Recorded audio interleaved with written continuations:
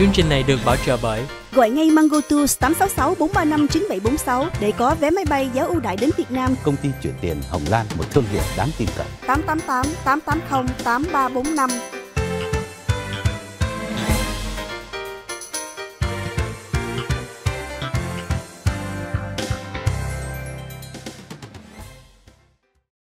Cảm ơn quý vị vẫn tiếp tục với phần 2 của chương trình Cà phê sáng của Leader Sài Gòn TV.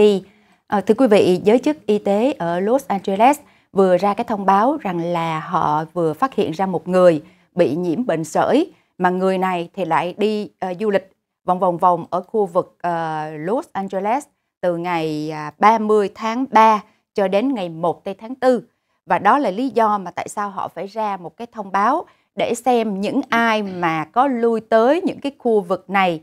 Thì quý vị có thể phải à, nếu như mà chưa chích ngừa về bệnh sởi thì phải cẩn thận bởi vì cái thời gian nếu như mà phát bệnh nó ủ bệnh là trong tới 21 ngày lận. Mà bệnh này lại là bệnh lây lan nữa cho nên à, khi mà bệnh á, thì ngoài cái chuyện mà ho nhức đầu sổ mũi uh, hay là chảy nước mắt đỏ mắt thì sau đó nó sẽ dẫn đến là phát ban uh, toàn thân. Mà phát ban này thì đối với lại con nít hay là những người người già hay là phụ nữ có bầu uh, những người mà đã yếu yếu trong người đó thì nó sẽ bị ảnh hưởng rất là nhiều. Uh, những cái khu vực mà họ đề cập tới đó thì bởi vì ở những nơi này người Việt Nam mình cũng uh, sinh sống quanh ở đây cũng có hoặc là lui tới cũng có.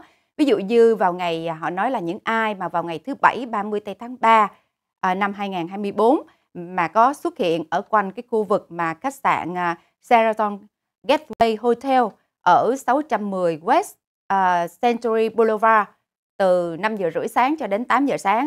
Hay là những người đến cái uh, tiệm Denny's ở số 5535 West đường uh, Century Boulevard cũng vậy. Rồi cái này mới là quan trọng những ai đi chơi ở chỗ mà Universal Studio.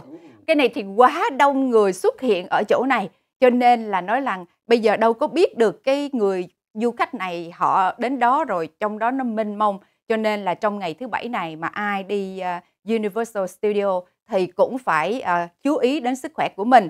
Uh, rồi uh, tiếp theo là ở cái chỗ là Puka de Pepo cũng ở trong gần cái khu vực mà địa chỉ là 1000 Universal Studio.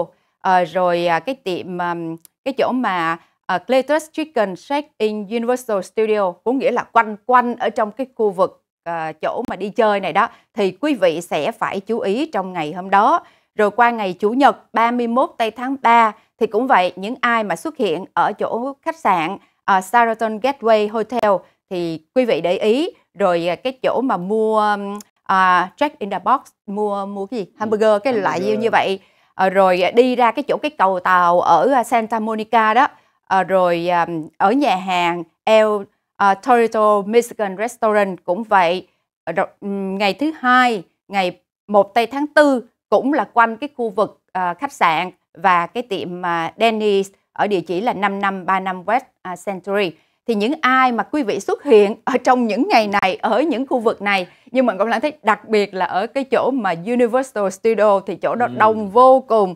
Thì quý vị phải để ý bởi vì người ta nói rằng là cái bệnh này nó nguy hiểm um, bởi nó lây lan nhiều mà cái thời gian ủ bệnh thì nó đến 3 tuần tức là 21 ngày à, do đó là quý vị à, phải chú ý đến sức khỏe của mình. À, rồi à, nó tại vì nó sẽ lây á cho nên à, nếu như thấy mình bắt đầu nè à, sốt nè ho nè đỏ mắt nè à, chảy nước mắt nè sau đó là phát ban là biết là mình đã bị à, dính bệnh rồi đó. Ngày hôm nay thì rất là nhiều tin à, để gửi đến quý vị nhưng mà chúng ta đi những cái tin nó, nó gọi là local địa phương hơn chút xíu.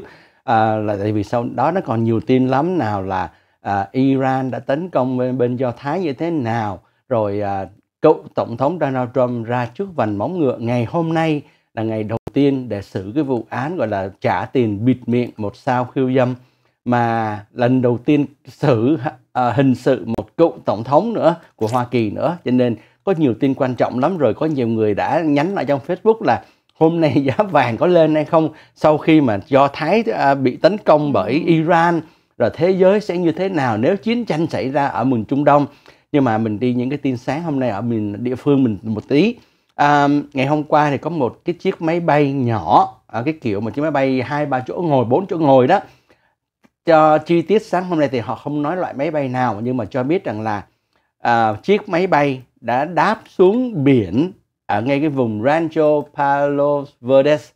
Cái vùng này thì nó nó rất là đồi núi nhiều lắm à, tuy nhiên sau khi mà người ta có những cái báo động về một chiếc máy bay đáp xuống nước ở ngay cái bờ biển này đó thì người ta đã đưa đội cấp cứu tới ngay để mà tìm kiếm thì họ đã nhìn thấy một người phi công và một con chó bơi vào bờ an toàn nhưng không cho biết thêm chi tiết là à, tánh mạng à, tình trạng à, về vấn đề y tế của người này như thế nào. Họ chỉ biết nói chỉ nói rằng là đã bơi vào bờ an toàn thôi.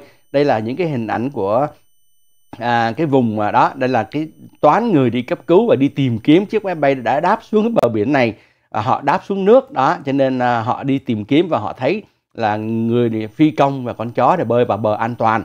À, tuy nhiên à, cái vụ xảy ra vào 5 giờ 20 phút chiều hôm qua ở à, Rancho Palo Verdes á, à, chỉ có trong vòng 24 tiếng đồng hồ thôi thì một chiếc máy bay nhỏ cũng là một hai chỗ ngồi gì đó rớt ở vùng San Bernardino và chiếc máy bay đó thì làm thiệt mạng người phi công.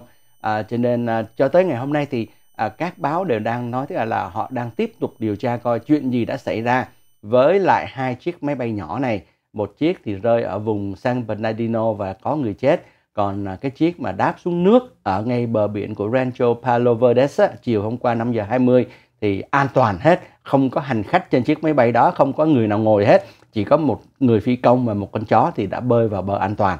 Thì đó là chuyện xảy ra. Và sáng hôm nay thì à, tin tức cho biết là nhiều xa lộ ở trên vùng Los Angeles có một hai cái tai nạn mà chết người trên xa lộ. Cho nên họ tạm thời đóng lại à, cái xa lộ đó để điều tra. Cho nên sáng hôm nay đi làm mà nếu quý vị có đi lên những cái xa lộ mà trên vùng Los Angeles á, thì mình nhớ bật radio lên để mình nghe cái tình hình à, à trên xa lộ à, ngay giờ phút này. Tại vì cũng có một hai chuyện đã xảy ra và đã có người tử thương à, trên xa lộ cho nên họ đang đóng một vài đoạn đường lại để mà điều tra tiếp theo. Bởi vì khi mà mình đi làm mà mình tìm được cái chỗ làm mà gần nhà đó ồ, cái điều đó sung sướng vô cùng. Ngọc Lan nhớ cái thời mình mới qua Mỹ khi đi làm mỗi ngày đi uh, lái xe khoảng 44 miles đi về 44 miles. Thì lúc đó uh, đi học một uh, một người một ông thầy trong trường nói là wow đi làm cái quãng đường càng xa thì cuộc đời mình nó càng ngắn nên mà nhiều ý nghĩa lắm nên đi quãng đường càng xa thì cuộc đời mình nó càng ngắn thưa quý vị uh, khoảng uh, một hơn một giờ rưỡi sáng hôm Chủ nhật thì cảnh sát cuối cùng đã bắt được một người đàn ông. Ông này làm gì? Đứng ở trên sân thượng của một cái apartment xong rồi chĩa súng xuống bắn lung tung. Mm. Khủng khiếp như vậy. À, ông này ông đứng ở trên cái uh, apartment đó À, gọi là ở trên cái cái uh, tầng cao nhất đó. Uh, Marina del Rey ở khu vực mà um, xung quanh ở cái khu vực này người ta chưa biết được lý do vì sao mà ông bắn súng. Chỉ biết là khoảng từ 10 giờ tối thì ông ta cầm một cái khẩu súng trường và những ông ta cứ nã lên trời bắn chỉ thiên lên trời xong rồi bắn xuống những cái người mà đi đường phía dưới thế là cảnh sát phải ra lệnh cho tất cả cư dân ở gần đó đó họ nấp hết vào trong nhà đừng có bước ra ngoài đường. Ở trong hình thì quý vị thấy là cảnh sát đến đây nhưng mà cũng phải nấp bởi vì không biết lúc nào sẽ có thể là bị cái tên đó nó bắn xuống trúng đạn. Nhưng mà nhiều người dân á người ta cũng livestream cái cảnh đó. Có nghĩa là bây giờ ở đâu cũng tìm thấy được là phóng viên nhà báo ở trên họ cũng livestream cái lúc đó chắc đứng ở trong nhà họ uh, quay. Uh, quay ra vân vân thì à, cảnh sát cứ ra lệnh cho cái người đó là bỏ súng xuống nhưng mà từ 10 giờ tối cho đến hơn 1 giờ rưỡi sáng thì cảnh sát mới bắt được người đàn ông này. À, không có nói về cái chuyện là có ai bị thương hay không à, rồi bằng cách nào mà đã bắt được tay súng này. Nói tổng số những cái viên đạn mà hắn bắn ra đó là khoảng à, ít nhất là 30 phát súng còn hơn nữa không thì không biết. Tên cũng chưa công bố luôn. À, tuy nhiên à, cái việc mà bắt được như vậy là người dân ở xung quanh đó mừng rồi. Tưởng tượng mình ở trong một cái khu nhà tự nhiên có một người nào đó đứng mà chỉ súng bắn lung tung như vậy hết. Tại vì nói là không chỉ bắn chỉ thiên lên trời mà bắn cả nhắm những người đi ở dưới đường những người chạy xe qua. Cho nên chắc thế nào cũng có người bị thương á. Ồ, oh, à, nói về những cái này đó thì nó có cái hiện tượng nó thí dụ như là à, mặc dù là mình thấy những chuyện gì đó đang xảy ra ừ. có người gọi à, 911 ừ. đi nhưng mà cũng có rất là nhiều người đó hào hứng lắm. Lấy phone ra ngay lập tức và núp vào chỗ nào đó rồi bắt đầu quay cái cảnh này lại rồi phát tán trên lên, lên trên mạng xã hội. Đó cũng có nhiều khi đó có những cái có những cái gọi là privacy đó. Khi quý vị đưa những hình ảnh lên trên mạng xã hội nhất là hình hoặc là video quý vị nhớ nha cũng có nhiều cái nó liên quan đến vấn đề à, gọi là gì nhỉ?